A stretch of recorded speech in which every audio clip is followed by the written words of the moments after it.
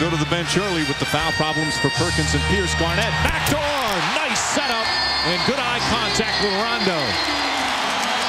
Had his knee injury. This used to be a staple. When Garnett would come to the pick and roll, if you tried to cheat it, he's going to back cut. Rondo was going to throw it up. This is a perfectly placed pass. He has three assists, six points. Left-handed shot won't go. Garnett took it away from Varejao and lays it in. It's a different, different Celtics team here this afternoon in game four. Check in. That's good take by Rondo. Good effort by Garnett. To me, it's his individual defense and his... And boy, did they ever. After falling behind 7-0, Celtics turned it on.